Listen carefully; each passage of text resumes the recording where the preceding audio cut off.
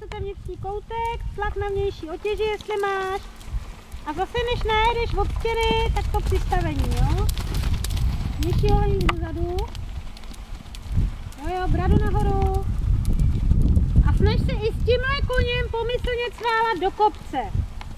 Jo, tím taky vlastně si pomůžeš, protože chceš nahoru, tak prostě se posadíš takovým způsobem, abys to tomu koni umožnila a ten kůň, když skáče potom víc nahoru, tak samozřejmě víc podsazuje vlastně zadní nohy pod sebe, tím pádem přináší více své rovnováhy, na, nebo své váhy na zadek a šetří si přední nohy.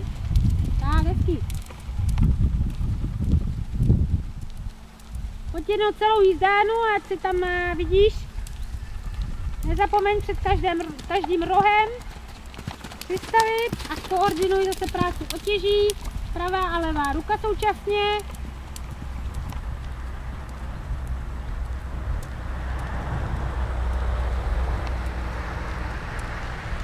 Tohle je hezký, tam sedíš jak přilepená, kuň sválá pravidelně.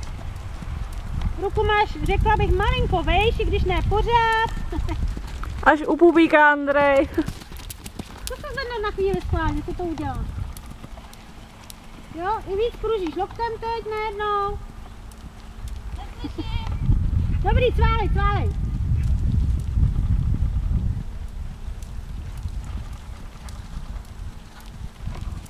Tak, pojď tu diagonálu zase, ať se ještě natočíš z té druhé strany. Zkus nezrychlovat tolik.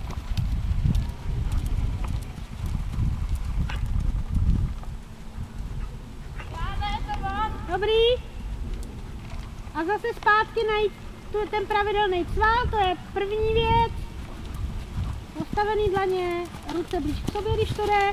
Pokud ty pomáháš a něco řešíš, tak eh, samozřejmě můžeš rozšířit. Tak hezký. A zase cváláme do kopce. Jo, jo. Jo, jo. Zkus pár skoků celo, ustupování na voleň.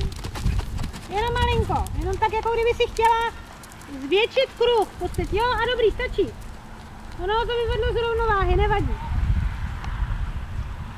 Nech ho bejt, protože v tom cvalu je to pro něj úplně jako postavený na hlavu, když to nezná.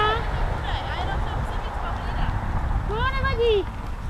Já jsem chtěla jenom, víš, ale udělej to, že uděláš třeba jenom tři svalový do strany a pak půjdeš hned na kruh zase, víš?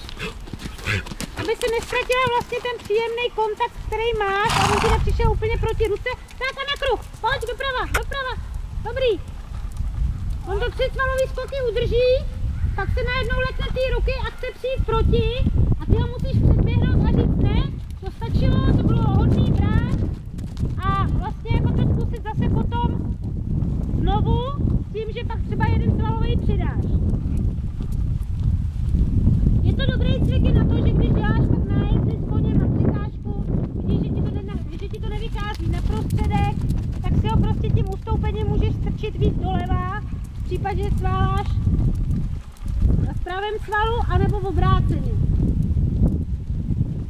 Dobrý, děláme přechod do kroku.